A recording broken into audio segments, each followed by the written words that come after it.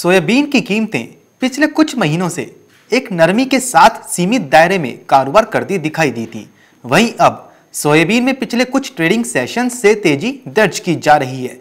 किसानों की तरफ़ से सोयाबीन की आवक में कमी हुई है। भाव कम मिलने से किसान माल नहीं बेच रहे हैं और स्टॉक करके ज़्यादा रख रहे हैं। मंडी में आवक घटने से सोयाबीन की कीमतों में उछाल देखने को मिल रहा है। वहीं सोया खली की मज़बूत मांग से भी कीमतों को सपोर्ट मिल रहा है। वही शादियों में खाने के तेलों की मज़बूत मांग की उम्मीद है। यूएस एग्री डिपार्टमेंट ने उत्पादन अनुमान हल्का घटाया है, जबकि यूएस उत्पादन अनुमान 38.5 टन से घटकर 38.4 टन पर रहा है। उधर ब्राज़ील और अर्जेंटीना में भी उत्पादन घटने का अनुमान है तो वहीं मलेशिया और इंडोनेशिया में सीपीओ के भाव बढ़ने से सोयाबीन की कीमतों को सपोर्ट मिल रहा है। घरेलू स्तर पर सोयाबीन की कम आवक और तेल मिलों की अधिक मांग के चलते सोयाबीन की कीमतों में तेज़ी आई है।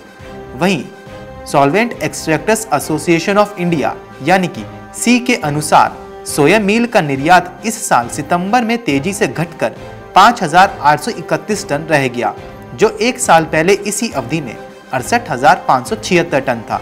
अमेरिका के प्रमुख सोयाबीन उत्पादक राज्यों में सोयाबीन की फ़सल उम्मीद से कम होने के कारण कीमतों को समर्थन मिला है।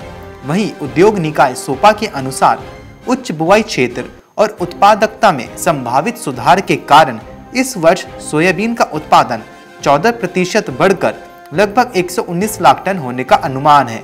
इस बार भारी बारिश के चलते सोयाबीन की फ़सल बड़े स्तर पर खराब भी होती दिखाई दी है, जिसका असर उत्पादन में गिरावट के तौर पर देखा जाएगा। जानकारों के अनुसार वायदा में सोयाबीन 6000 के पार जा सकती है और 2022 की शुरुआत में और अभी अच्छी तेज कीमतें देखने को मिल सकती हैं।